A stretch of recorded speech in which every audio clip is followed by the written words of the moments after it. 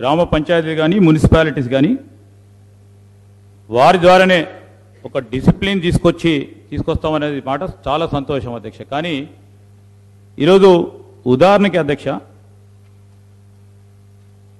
మేము వారి దృష్టికి ఎందుకు తీసుకొచ్చామంటే జగిత్యాల మున్సిపాలిటీకి సంబంధించి సార్ ఎందుకు తీసుకొచ్చామంటే రేపు రాబోయే కాలంలో ఇదే విధమైన ప్రస్తావన రాకుండా మీరు ఈరోజు చెప్పిన అంశాలను కూడా రాష్ట్ర ప్రజలందరూ గమనిస్తూ ఉన్నారు సార్. సో ఆ విషయంలో క్రమశిక్షణకు వస్తారు అనే ఆశతో మేము కూడా వెళ్తాం. కానీ ఈ విషయ ప్రస్తావన రాకుండా ఉంటే ఏ విధంగా వారు మీరే చూశారు కదా సార్ మీరు? రెండు వేల సారీ ఫోర్టీన్త్ ఫైనాన్స్ కమిషన్కి సంబంధించిన నిధులు వచ్చినప్పుడు ఏ విధంగా వారికి సంబంధించి అప్పుడున్న గ్రామ పంచాయతీల వారి పరంగా ఉన్న సర్పంచులు ఒక రూపాయిని చూడకుండానే బకాయిల విషయంలో ప్రభుత్వం మళ్ళా తిరిగి వార్త రాబట్టడం జరిగిందో మీరు చూశారు అధ్యక్ష. నేను ఎందుకు చెప్తా ఉన్నానంటే అధ్యక్ష ముఖ్యమంత్రి గారు. అన్ఫార్చునేట్లీ అగైన్ ఈజ్ ఈరోజు- మిస్లీడింగ్ గౌరవ ముఖ్యమంత్రి గారు. అధ్యక్ష అగైన్ ఈజ్ మిస్లీడింగ్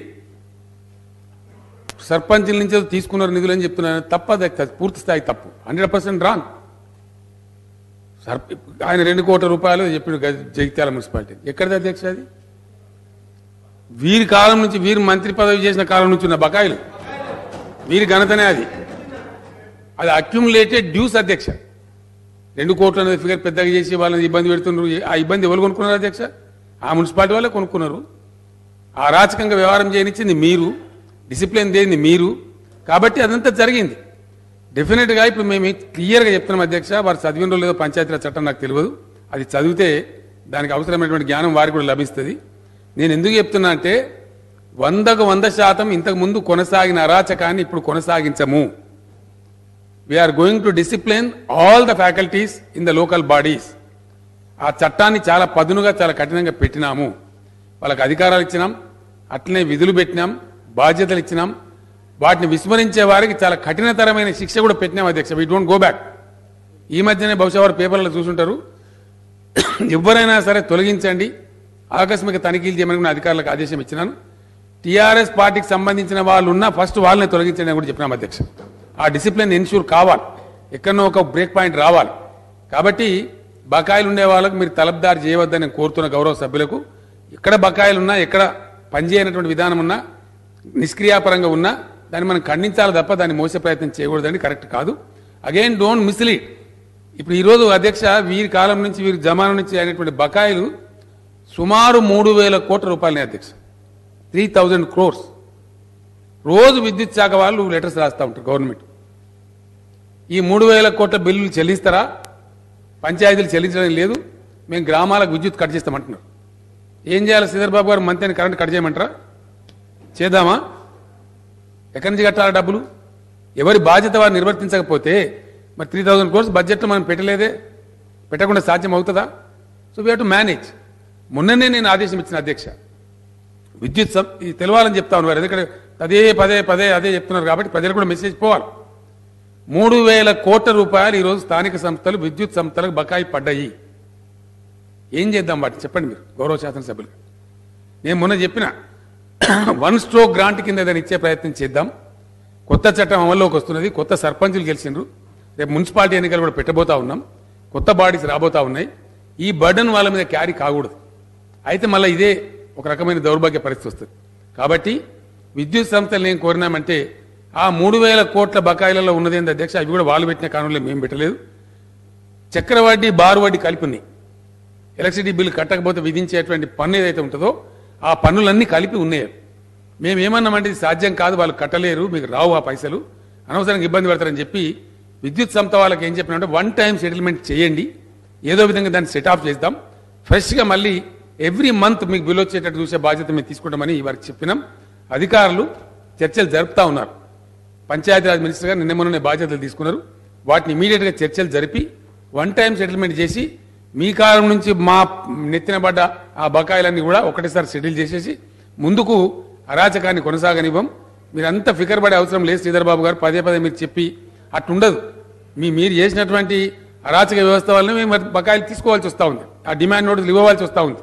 కారణం ఏంది అక్యుములేటెడ్ డ్యూస్ కాబట్టి ఆ పరిస్థితిగా ముందు రానివ్వం. రెస్ట్ అష్యూడ్ దానికి ఇబ్బంది లేదు. అది మళ్ళా రిపీట్ చేయాల్సిన అవసరం లేదని మనం చేస్తా ఉన్నాం అధ్యక్ష.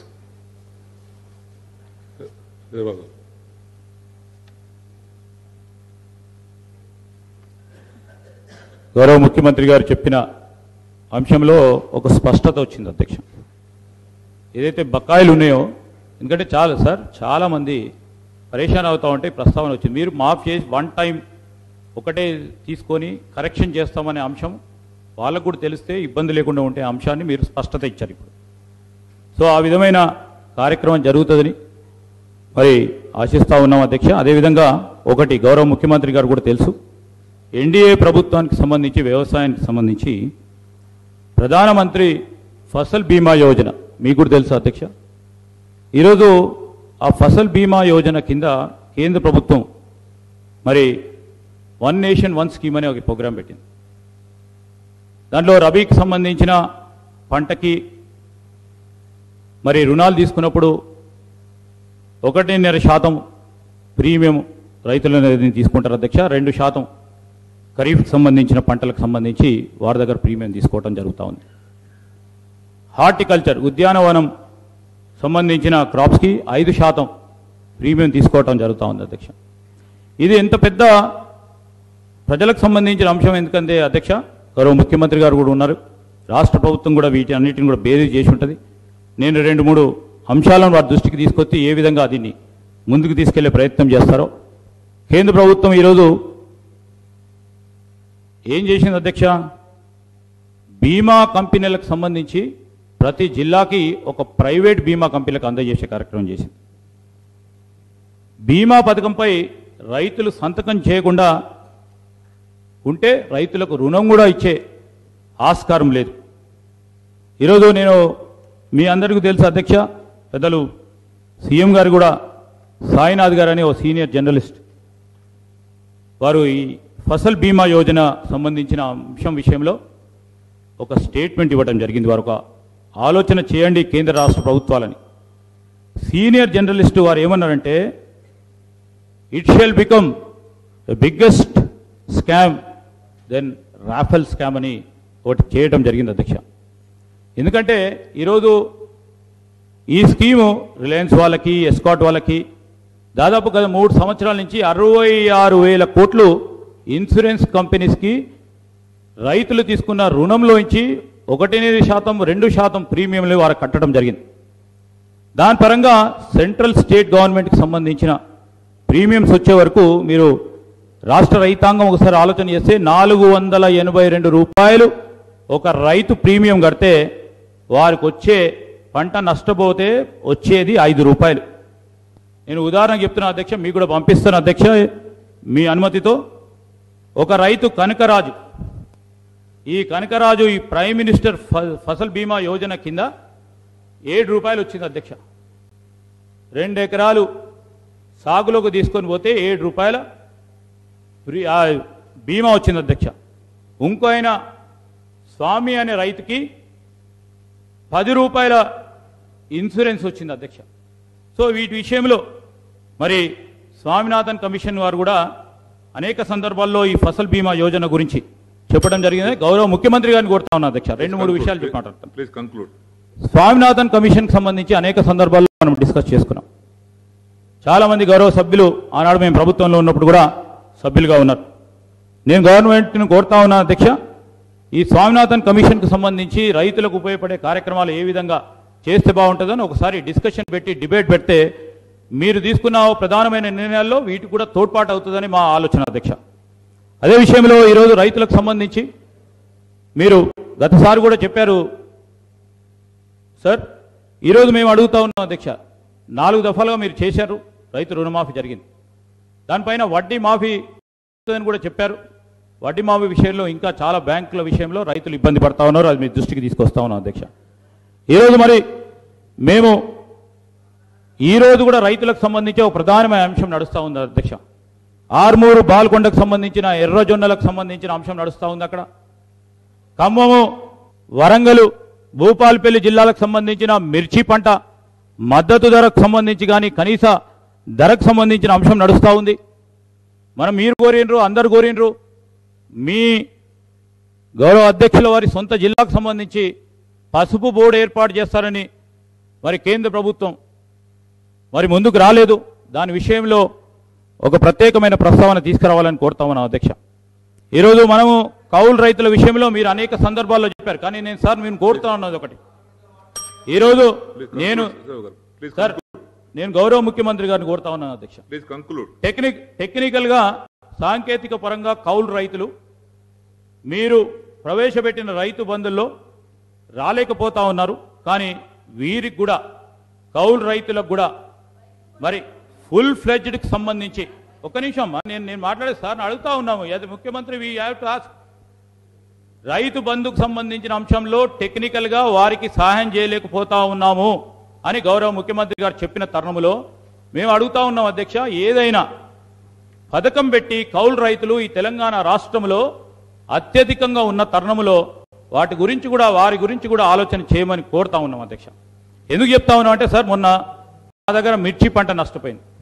మొన్న అకాల వర్షాల వల్ల మొన్న ఈ మధ్యలోనే ఇరవై రోజుల క్రితం అకాల వర్షాల వల్ల మిర్చి పంట నష్టపోతే అక్కడికి వెళ్తే నేను సార్ మీ అందరు కూడా చెప్తా ఉన్నా అధ్యక్ష మిర్చి పంట కౌలు యాభై వేల రూపాయలు ఎకరానికి మా మాదేపూర్లో. మూడు ఎకరాలు తీసుకున్న రైతుకు లక్ష యాభై వేల రూపాయలు వచ్చింది. అసలు రైతుకి లోన్ తీసుకున్నాడు. లోన్ తీసుకున్న వారికే బీమా వస్తుంది.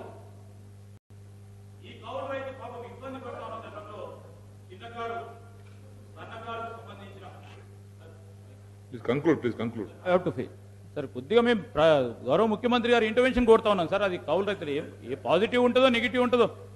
సార్ సార్ ఈరోజు నేను కోరుతా ఉన్నది ఎందుకంటే because this I would like to reflect the problems of the farmers this is my right to reflect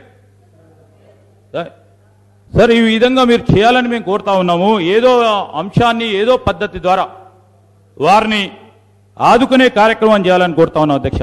రైతు బంధుతో పాటు మరి గతసారి కూడా మీరు చెప్పారు కనీస మద్దతు ధర కేంద్ర ప్రభుత్వం ఎన్ని మార్లు అడిగినా పెంచటం లేదని. మేము కోరుతా ఉన్నాం అధ్యక్ష బోనస్ అన్న కర్ణాటక ఛత్తీస్గఢ్ రాష్ట్రాల్లో ఏ విధంగానైతే బోనస్ ప్రకటించో చేసి ఏ విధంగా తీసుకోవడం జరిగిందో వాటి గురించి మీరు కూడా ఆలోచన చేయాలని మీ అందరిని కోరుతా ఉన్నా అధ్యక్ష.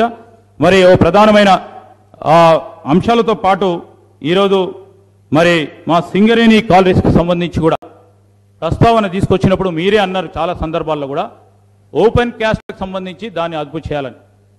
మరి ఓపెన్ క్యాస్ట్ సంబంధించిన అంశం విషయంలో ఏ విధమైన పర్యావరణ ఇబ్బందులు ఉంటాయో మీకు తెలుసు. దానికి సంబంధించి ఈరోజు మా దగ్గర ఓపెన్ క్యాస్ట్ మైండ్లు పెద్ద ఎత్తున భూమి మూలు కోల్పోతున్న రైతులకి సరియైన నష్టపరిహారం లేకుండా ఆర్ఎండ్ఆర్ రాకుండా అనేక మంది ఇబ్బంది పడుతున్న తరుణంలో దాని గురించి కూడా ప్రస్తావన రాలేదు. మరి ఈరోజు మనం అందరం కూడా చూస్తున్నాం ఎంప్లాయీస్కి సంబంధించిన ప్రస్తావన మీరు ఓట్ ఆన్ అకౌంట్ బడ్జెట్కి పెట్టినప్పుడు మరి వారు ఎన్నో రోజుల నుంచి వెయిట్ చేస్తా ఉన్న ఐఆర్ ప్రస్తావన దీంట్లో రాలా. మరి దాని గురించి కూడా మీరు మరి అప్రాపరేషన్ పెట్టేటప్పుడు దాని గురించి కూడా పెడతారని మరి పోడు భూముల అంశం విషయం వచ్చే వరకు. మీరు ఆల్రెడీ మరి అభయం ఇవ్వటం జరిగింది. ఎక్కడైతే అటవీ ప్రాంతంలో ఉంటున్న భూముల విషయంలో అనేక సంవత్సరాల్లో భూములు కాస్తు చేస్తున్న వారికి వారి గురించి ఆలోచన చేస్తామని. మరి వారి గురించి కూడా ప్రత్యేక ఆలోచన చేసి మరి అటవీ ప్రాంతంలో గిరిజన గిరిజనేతర రైతులు వాటిని పరిష్కారం చేయాలని మరి దున్నుతున్న వారు అనేక సంవత్సరాల నుంచి. ఇప్పుడు కొత్తగా పోటీ చేసుకుంటున్న వారి గురించి మాట్లాడతలేము అధ్యక్ష. అనేక సంవత్సరాలుగా వారి పరంగా అక్కడ కబ్జాలో ఉండి పంట చేలు చేసుకుంటున్న రైతుల గురించి మరి మీరందరూ కూడా చూడాలని ఎంప్లాయ్మెంట్కి సంబంధించి మీరు తీసుకొచ్చిన నిరుద్యోగ భృతి తప్పకుండా మేము ఆహ్వానిస్తాం. ఈ నిరుద్యోగ భృతికి సంబంధించి నిరుద్యోగ యువకులు అనేక మంది వేచి చూస్తున్న తరుణంలో మీరు వెంటనే దీని ఆచరణ సిద్ధి చేయాలని ఎందుకంటే అనేక మంది నిరుద్యోగ యువకులు ఈ నిరుద్యోగ భృతి గురించి చూస్తున్న తరుణంలో మీరు కూడా దాదాపు వెయ్యి ఎనిమిది వందల కోట్ల రూపాయలు ఈ ఓట్ ఆన్ అకౌంట్ బడ్జెట్ మీరులో పెట్టడం జరిగింది. కానీ ఈరోజు దాన్ని ఏ విధమైన నిబంధనలు పెడతారనే ఒక భయాలతో ఉన్నారు. మరి దాని విషయంలో ఒక ప్రత్యేకమైన ప్రస్తావన చేయాలని ఈరోజు మరి ఎంప్లాయ్మెంట్కి సంబంధించి కూడా నాలుగు సంవత్సరాల పరంగా మీరు డిక్లేర్ చేసిన ఎన్ని వేకెన్సీస్ ఉన్నాయో కేవలం ఇరవై ఎనిమిది శాతం వేకెన్సీసే ఫిల్ చేయడం జరిగింది. పువ్వాడ అజయ్ గారు.